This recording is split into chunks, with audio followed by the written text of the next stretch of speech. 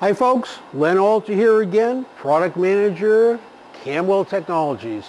Today I want to give you some very, very important information about chemicals. One specific, chromic acid. Here's the story.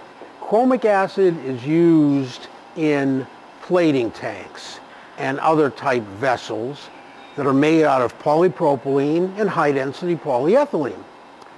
Now you look in the books of corrosion resistance and what's going to happen and you'll see nothing's going to happen. So you'll go ahead and put the chromic acid into these plastic tanks and think you're done. Well, you are done, but the wrong way. What happens is chromic acid causes stress cracking. Got it? Stress cracking in the corners of the vessel. So you'll get a cracking line from top to bottom like a tree, and then you'll instantly get branches of cracking. And the next thing you know, in a few seconds, you're going to start getting leaking of this very caustic, nasty, poisonous chemical all over the ground. You don't want that. Don't do it. Len Alter here.